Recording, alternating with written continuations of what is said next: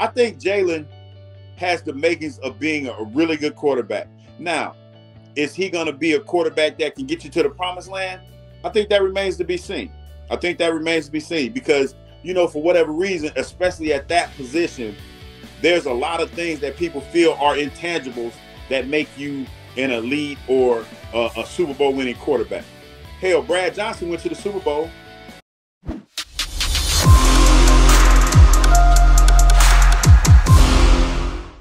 Our man, there he is. Hugh, what's up, baby? Hong going Kong, on, Fu- Hong Kong Phooey, number one super guy, man. you know, that everybody doesn't everybody doesn't know who this is, man. No That's question, old man. school for real. That's a badass shirt right there. Yeah, this That- this is old school for real, man. That's that's Yeah. old school. Yeah, Yeah, he, it is. Yeah, he, it he was in that file cabinet. He'd pop out. He was ready to go. man. Yeah. Phooey. Number one super guy. Right, yeah. Yes, love it, man.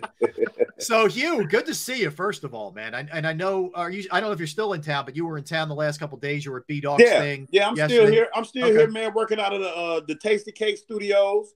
Yep. Still in Tastykakes every day. Bro, Loaded Since. I've been here. Yeah. I gotta do it, bro. Every time I come, I let them know. I say, "Hey, hey, Rod, I, I'm just letting you know. I mean, make sure that it's, it's stacked up because when I leave here, I'm bringing half of it with me, bro." Hey, hey man, listen. and, and- and you know, you know what's funny? They've been real great about it, man. Because I haven't been here in so long. But and, and when you come to Philadelphia, see there you you're used to having Tastykakes every day. Exactly. You get fresh cakes every day.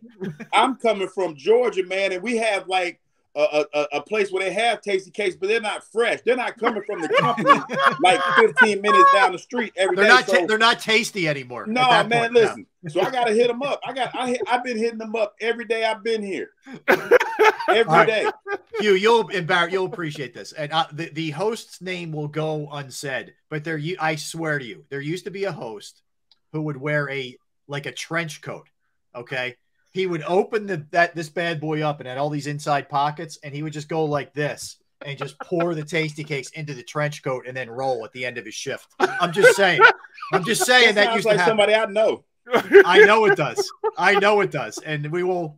We'll just See, in the sake of not naming names, because I heard you talking about some of the some of the past uh, hosts Yeah. that you've had that didn't take this job seriously. Yeah. I'll just leave it alone. Yes. No, Hugh, I. I say this, you know, I'm not just, I wouldn't say anything, so I'm not just blowing smoke. Hugh was a fun dude to do a show with because you always laughed. I Right, always, right. I always came away having fun with you. It's Barrett's, you guys are very similar in that sense. So you guys are fun to work Bro, with. you can't be too serious, man. Plus, you know, people on the stream, they want to see, they don't want to see you being so serious that they can't relate to, they can't talk to you. You know, they know they can relate and talk to you.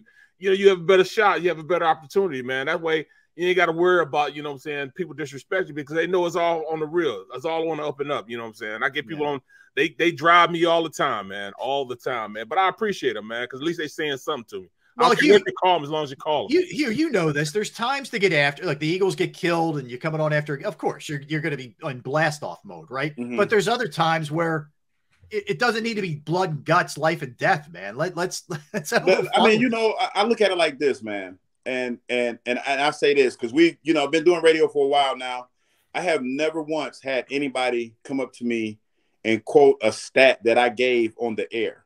right? It's, it's, it's about nobody. Nobody's ever said, "Hey, man, you broke down that that stat on four for one." Like it was like that's not what we do, man. We we we do local radio because we connect with the people that we talk to, and we feel the Yep. same way that that they do Amen. and that's why they listen to you on the air. That's why they watch your show, Barrett, because they can relate to you because they know that you know what you understand, what they're going through, Right, and, right, and, right. and you keep it like I like to say, you keep it one hundred.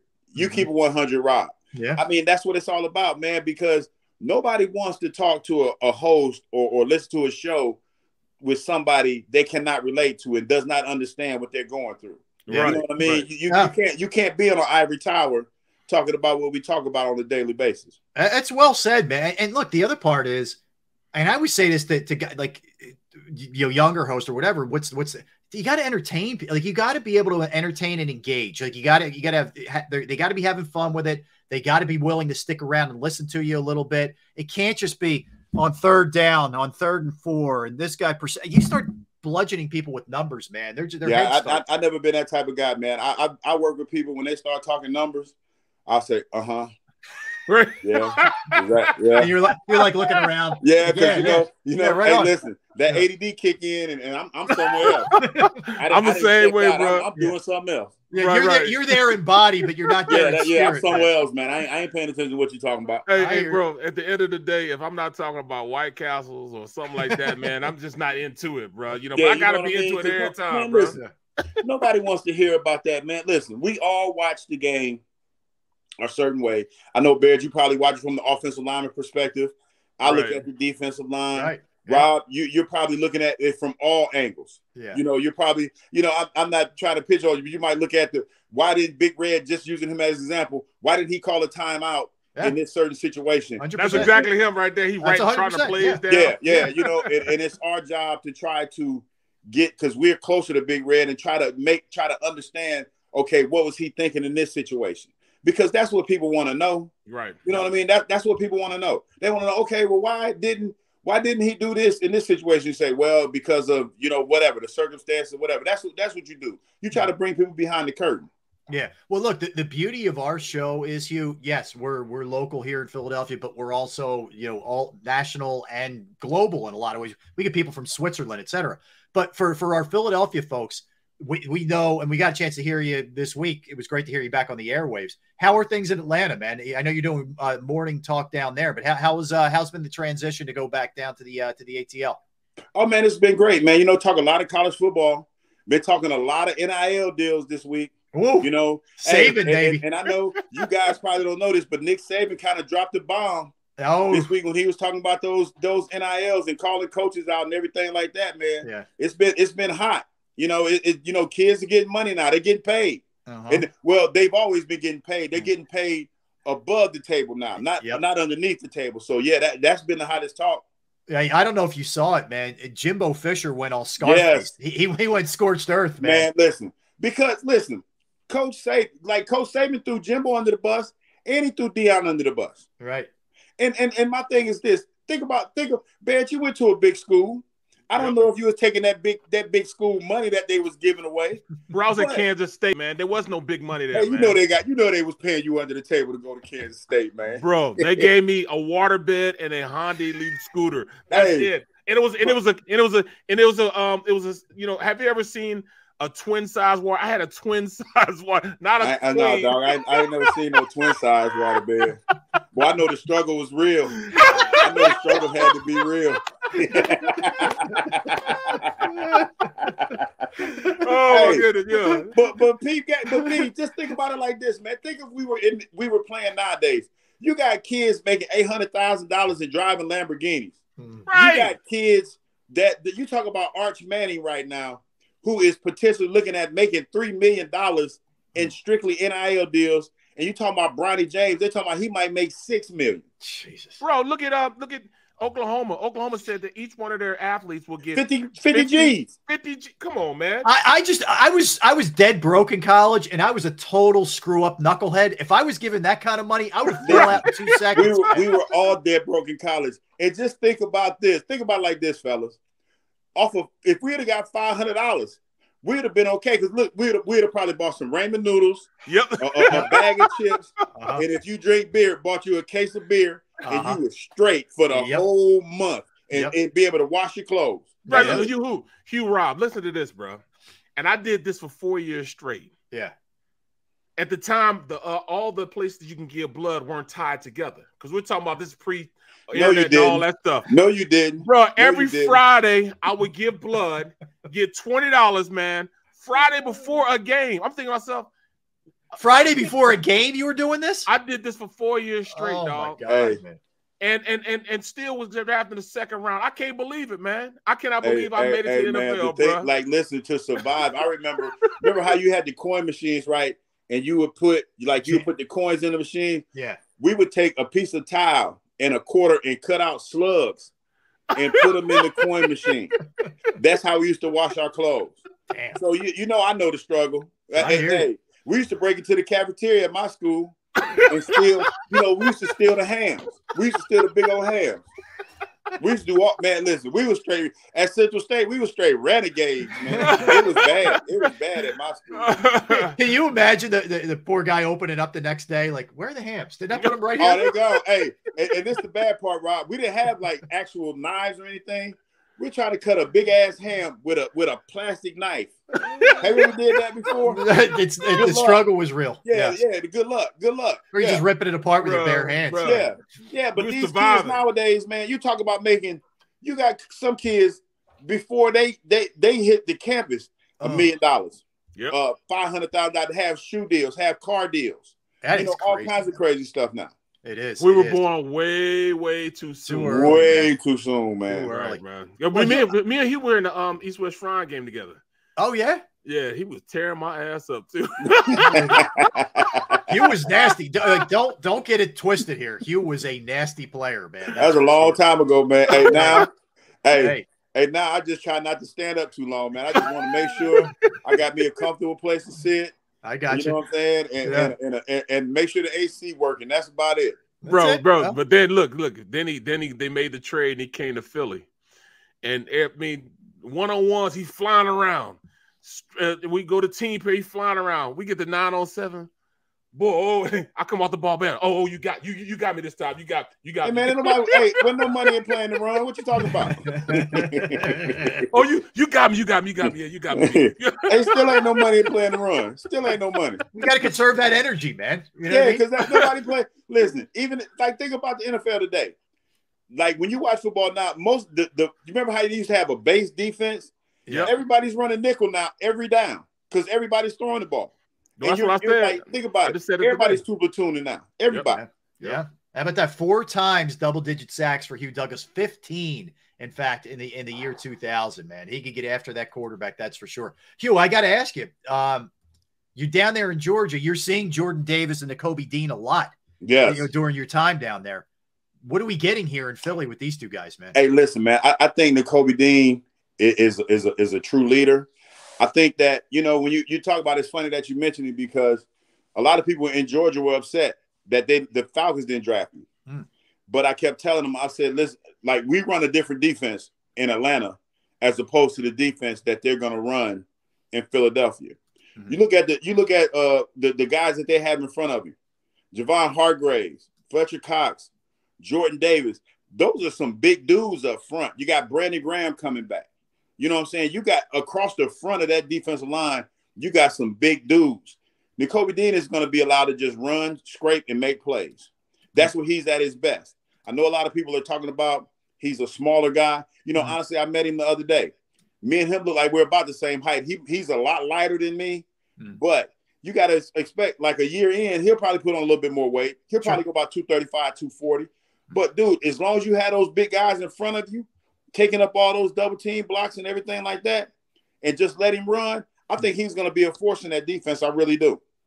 How about, how about Davis? There's some people that are concerned that he played 38% of the time. And I look at that partly, Hugh, that they were loaded and they were, you know, rolling a Well, lot of and not only in. that, you Yeah. had you had two different lines. Like he was mostly a run player. He was primarily on rundowns. Mm. Now people want to point to that Alabama game where you know he was getting double teamed and they, he was out there on the field. He didn't have that much production. Mm. I'll say to those people this, because I was concerned about that too. He had what three weeks to get ready for the second showdown against Alabama. Yeah, the The guy got in. The, he got on the. He lost a little bit of weight. He was working on the treadmill and everything, and he showed up in the last game when it really mattered. Hmm. So he has a tremendous work ethic. There's no question about that because that was one of the one things that I was I was concerned about because I was like, dude, I was Right. watching the game with a, with a friend of mine who's a big Georgia fan, and I was like, dog, he's getting killed on those double teams, and he was like, well, that's not what he does. And I said, well, mm. listen, if he want to play at the next level, he better get his stuff together. He better get it together, and he did. He took three weeks. He lost a little bit of weight, and he was more of a factor in that game against Alabama the second time than he was that first go round. Well, you think it's as far as defensively, um, with with them going out and getting bigger players. You know, they got Hargraves, they have Fletcher Cox, they got you know guy Jordan Davis who, who can go in there and stop that. Do you think it more be more aggressive on the outside, especially with the addition of this uh this new corner? I think you can, because you know, you know, pass rush and pass rush and covers go hand in hand. In my book, it always has. You know, you talking about I played with guys like Bobby Taylor, uh, Al Harris, and Troy Vincent. Yep. So it goes hand in hand. So now when you have a bigger corner like the guy you just got from the Giants that Bradberry, everybody's excited about, you got that. You got Brandon Graham coming back. Don't know how much Brandon's going to give you because let's be honest, coming off an Achilles injury and being a little bit older, that's asking a lot. But you got those you got those two big spaces in the middle. Hargraves can get after the he can get after the quarterback, Hmm. and you got a nice rotation going. And then you work the Kobe Dean in there too. Dude, you you have the makings of a pretty good defense in Philadelphia. Yeah, I mean, the only area you, you worry about is safety. And and the one thing I always tell say to people, Hugh, is look, you're not gonna be perfect everywhere, man. And there's still time to, to make a move, but every team's got these issues where you say, Hey, I don't love this spot, but that, that's almost across the board. every everybody has deficiencies, you know, and, and you look at one of the deficiencies that the, the Eagles went out and they addressed. They went out and got another receiver, AJ Brown. DeVonta Smith in his second season, he's looking, and you got to think about it like this too, Rob and Barrett. You're supposed to make a huge leap.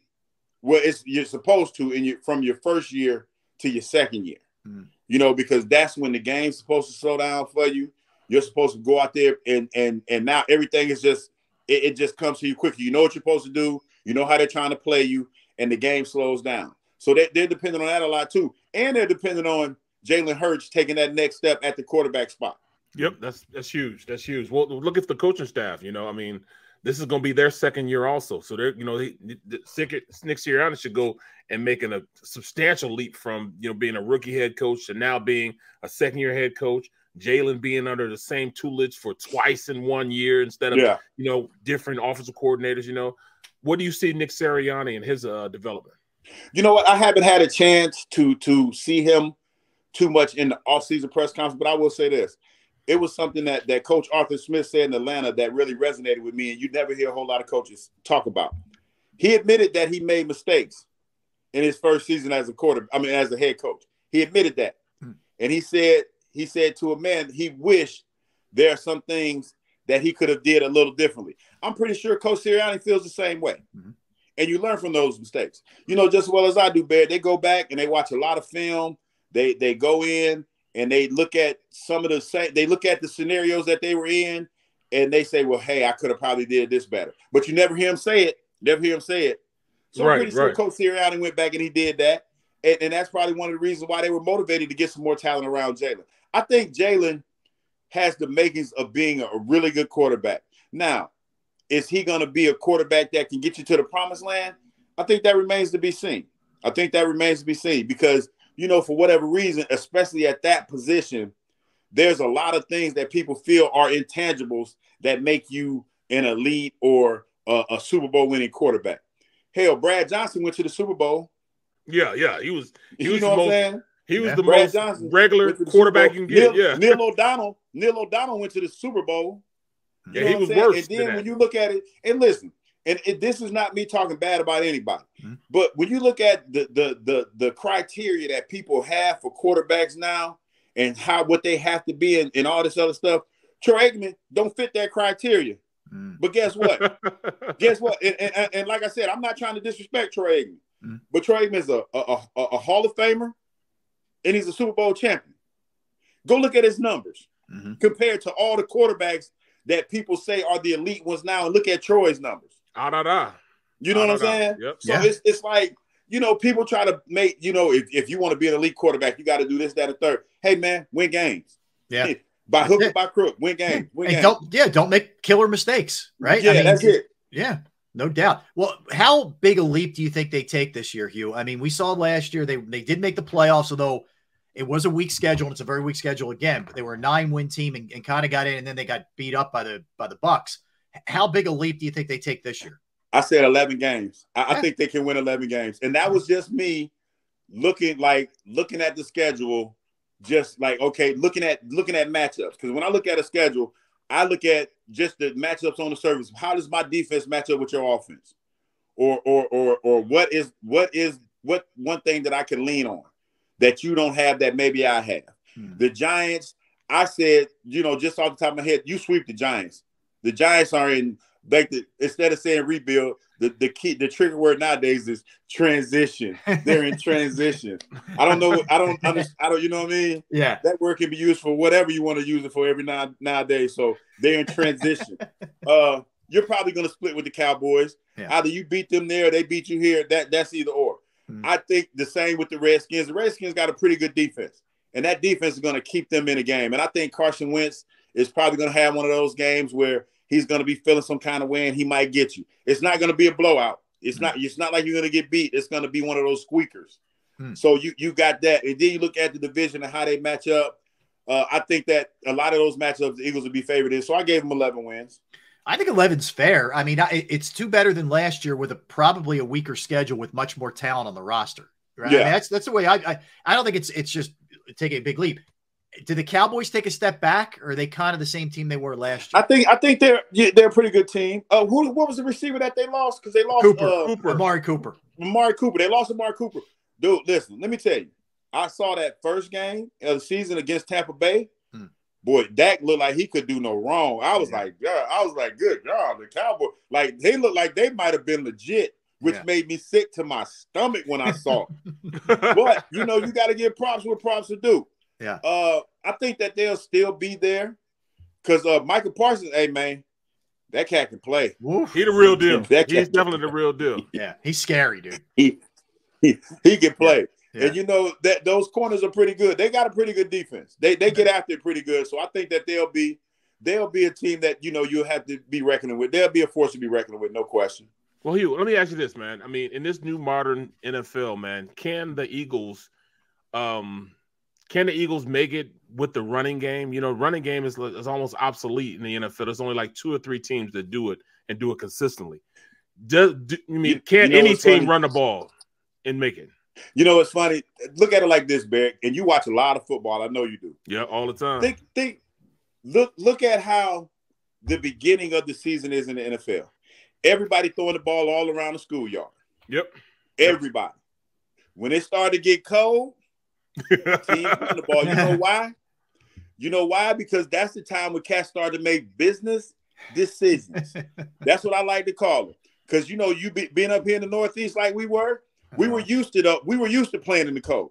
I don't know. so you yeah. play those warm weather teams, and they come in and they trying to be all cute and everything. You put that thigh out on them. You put that hey, they don't want that, and you know that, and you see that when you had those teams that that will grind it out. Hey, they can throw the ball. They can still throw the ball at will. Yeah. But when you got those teams that got them big old running backs, and them cats be leaning on you, be like, oh, no, I don't know, I don't want to do that. I don't want to do that. I don't want to do that. That's when you, You start know, hearing. it's still, hey, this still a running league. Like towards December, January, Yeah. you better be able to run the ball because if you ain't, you ain't gonna go far. that- No that's doubt. when you, that's when you start hearing those. Oh God, block. Ooh, hey, hey, when they be wincing, ooh, yeah, yeah. oh my god, that's awesome, Hugh. it- Dude, it's been a blast, man. It's great to catch up with you. We miss you around here, man, and, and we're looking forward to, to having you on again. But thanks, man. Hey Thanks man, couple just let me know when, man. I mean, Yeah. hey, you know, phones work in Atlanta too. I got, I got internet. I got Wi-Fi. We'll make it happen. We'll make it happen. Hugh, all the Appreciate you, best. big dog. All the best, man. Thank you. It was Hey, great appreciate seeing it. this weekend too, man. Yeah, great, great, great. Great doing- seeing all the boys. doing all Oh yeah, did it was. Hey, man, we had a event, man. ball, man. We had a ball. What a, what what a group that was. Du- Hugh, appreciate it, man. All the Not best. a man. problem. Not a problem. Talk Take to you soon. bro. All right, that's Hugh Douglas. Man, he's fun, man. He's a fun Oh dude. no question, man. He, keep, he keeps it keeps it one hundred, man, and that's Yeah, what you does. want, man. He, uh, I mean, it, it is what it is. You know, you're gonna run the ball in the winter when it's cold, and and that's the worst thing you can do to a defense. If you Mm-hmm. can run the ball consistently against the defense, that's when they start thinking, "Oh man, here we Yeah. go." That's demoralizing for them. I hear you. I hear you. All right. Well, that was fun, man. That was fun. Uh, today, you and I hanging out. We got a big store show in uh, in store for you on Friday as well. So you want to be locked in each and every day, noon to three, right here, JAKIB Sports YouTube Network. But for Barrett, hopefully, and, and by the way, Derrick, feel better, man. We will Feel see better, you bro. tomorrow. We'll see you tomorrow. Uh, and to Xander, our producer, Xander Kraus, great job. To all of you uh, streaming, all of you watching, all of you listening, all of you in our comment section, we always, always appreciate you. Never take it for granted. So thank you. See you tomorrow at 12 Sports Take.